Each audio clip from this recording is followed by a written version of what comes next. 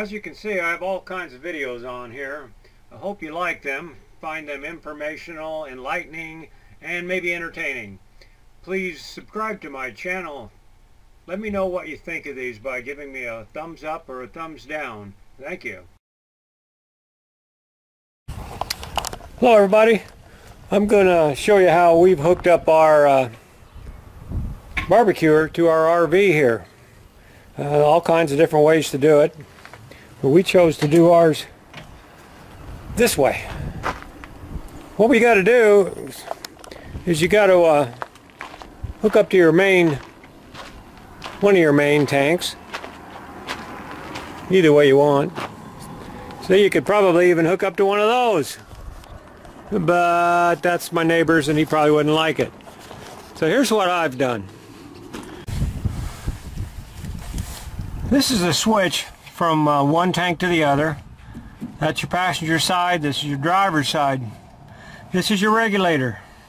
Now it's being regulated after these tanks, after that switch. So what you this is runs down, as you can see through there, maybe, and runs down to here, and then branches off to all the other stuff. So there's a regulator ahead of this. So you don't need two. This is your shut-off valve. This is also going to be a shut-off valve when it's uh, taken apart.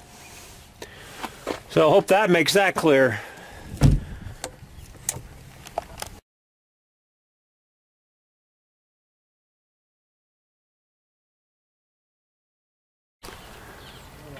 Usually this has a bottle going up there with the regulator.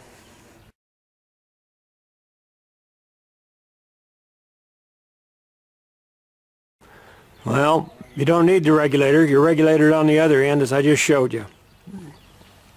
So you take this regulator off and then just hook your hose into here. And it works great. Now I'm going to show you my friends over here. He's similar, similar deal on his uh, Weber. He's got a, about two different shutoffs, not counting the connection.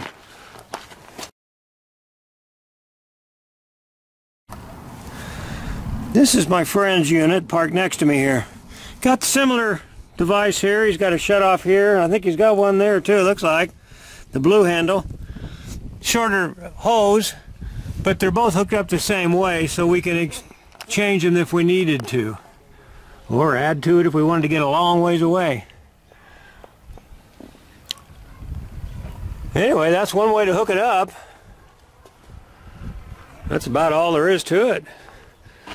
He's taking his regulator off also.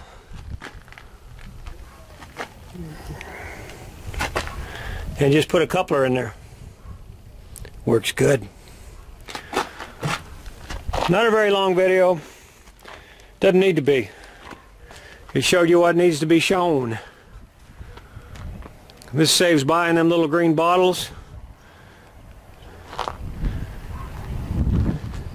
And you don't have to worry about running out with them hooked up to your big tank unless your big tank runs out and then you're in trouble anyway.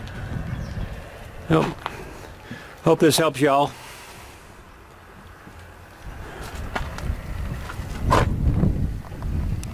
If you don't have your regulator on your cooker, don't use just straight out of the tank. The regulator is there for a reason.